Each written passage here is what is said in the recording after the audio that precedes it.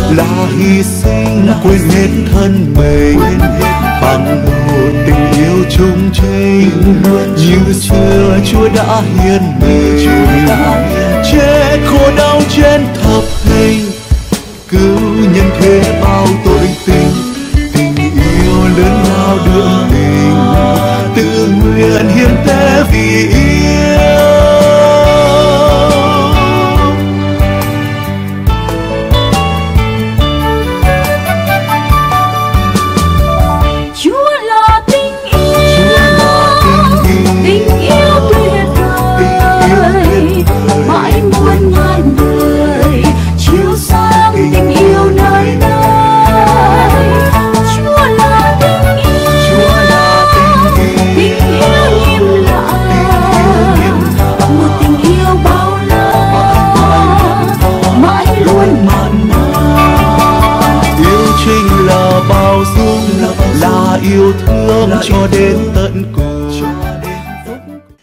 Quà tặng tin mừng Chúa Nhật 29 thường niên năm B về ba tuyến nhân vật Linh mục An Phong, Nguyễn Công Minh, dòng anh em hèn mọn Việt Nam.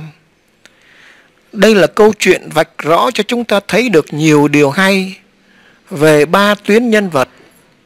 Thứ nhất, về Marco, người tường thuật. Về hai anh em kia, nhân vật phản diện và về Chúa Giêsu nhân vật chính diện. Thứ nhất, câu chuyện cho chúng ta biết đôi điều về Marco. Matthew cũng kể câu chuyện này, nhưng lời yêu cầu không do Giacôbê và Gioan đích thân nêu ra, nhưng do mẹ của hai ông là bà Salome. Có lẽ Matthew cảm thấy rằng một lời yêu cầu như thế là không xứng đáng cho một tông đồ, nên nhằm cứu vãn tiếng tâm cho Giacôbê và Gioan ông đã gán lời yêu cầu đó cho tham vọng tự nhiên của bà mẹ. Còn Marco thì nói rõ, chính hai ông đến xin. Câu chuyện này cho chúng ta thấy sự thành thực của Marco. Người ta kể rằng có một họa sĩ trong triều đình vẽ chân dung cho Oliver Cromwell là người đầy mụn cóc. Nghĩ là để làm vui lòng Oliver, họa sĩ không vẽ những mụn cóc đó trong bức họa khi Cromwell thấy như vậy, ông nói, dẹp bức chân dung này đi, vẽ cho ta một bức đầy đủ các mụn cóc. Mục đích của Marco là muốn chúng ta thấy đầy đủ mụn cóc của các tông đồ. Khi mười môn đệ kia nghe biết thì đâm ra tức tối với hai ông. Không phải vì họ khiêm tốn, nhưng vì họ cũng muốn những điều tương tự như hai ông. Và Marco đã có lý vì 12 tông đồ vốn không phải là tập thể các vị thánh. Họ chỉ là những con người bình thường, đầy mụn cóc. Chúa Giêsu đã dùng những con người tầm thường như thế để thay đổi thế giới.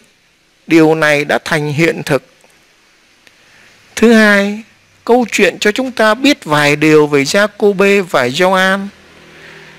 Hai ông vốn có nhiều tham vọng họ nhắm những chức vụ cao nhất trong vương quốc của Chúa Giêsu khi cuộc chiến đã thắng và sự khải hoàn đã trọn vẹn.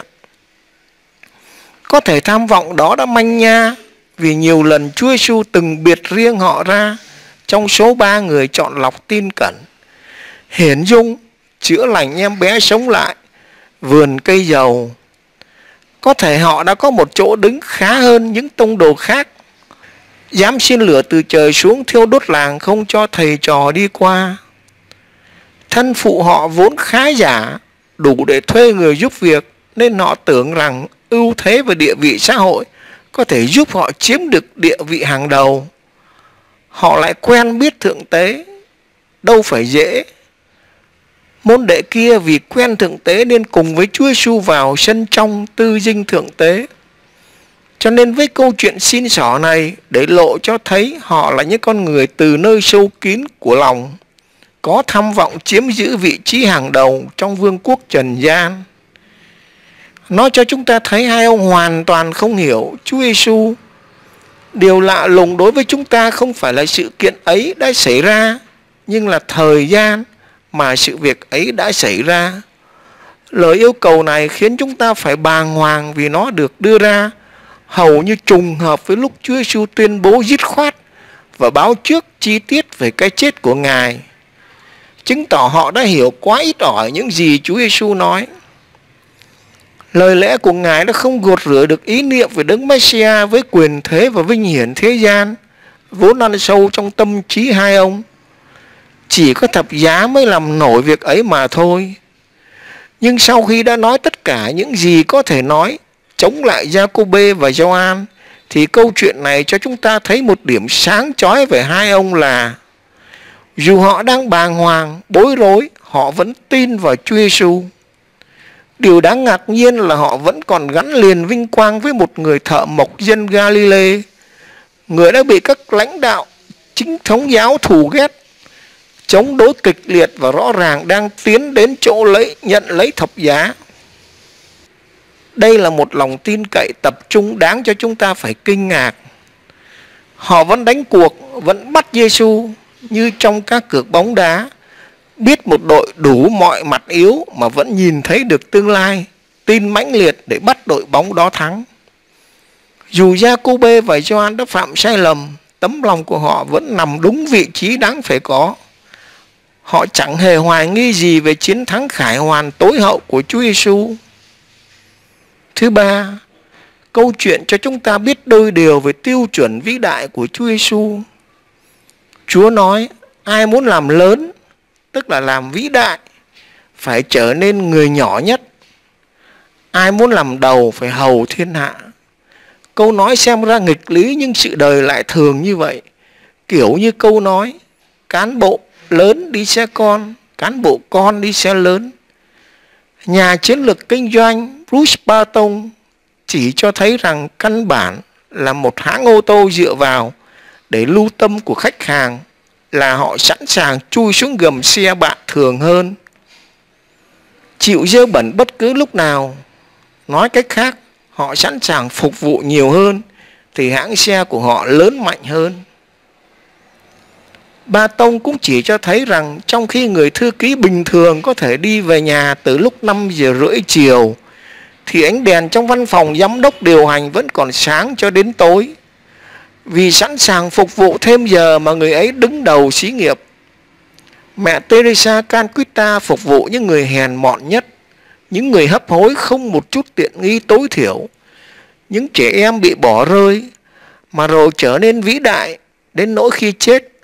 Ấn Độ, một nước ấn giáo là quốc giáo, cử quốc tang với 20, 21 phát súng tiễn mẹ. Câu chuyện trên cho chúng ta thấy gương sáng và tình yêu thương là bằng chứng cho người ta nhận ra Thiên Chúa.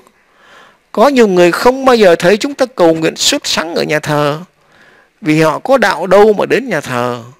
Nhưng họ thấy cách chúng ta biểu lộ tình thương với họ hay với những người chung quanh mà họ nhận ra Thiên Chúa của tình yêu. Nếu chúng ta sống thực sự yêu thương thì không ai đánh giá sai lầm về đạo Chúa. Khi chúng ta chứng minh tình yêu bằng đời sống tốt thì chúng ta thực sự trở nên những người bạn tốt của nhau. Việc xin ngồi bên hữu bên tả của thầy rút ra bài học này.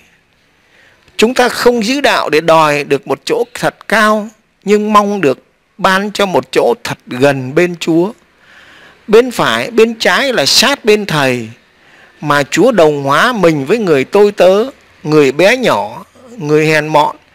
Cho nên càng là người tôi tớ, càng phục vụ, càng được ở gần thầy. Theo gợi ý của cha ngọc hàm, linh mục an phong nguyễn công minh dòng anh em hèn mọn, hẹn gặp lại. Như biển sóng răng trăng trùng tình yêu lấy sao cho buồn. Việt nam minh trong tình